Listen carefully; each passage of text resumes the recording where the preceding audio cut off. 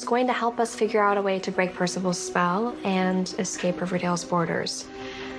But first, she wants to spend one final evening with her beloved in carnal form.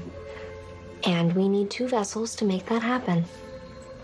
I would be Abigail's, and you, pending your agreement, would be her beloved.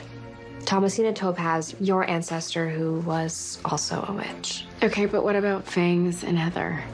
Well, Heather's a witch, so she's kind of fine with whatevs.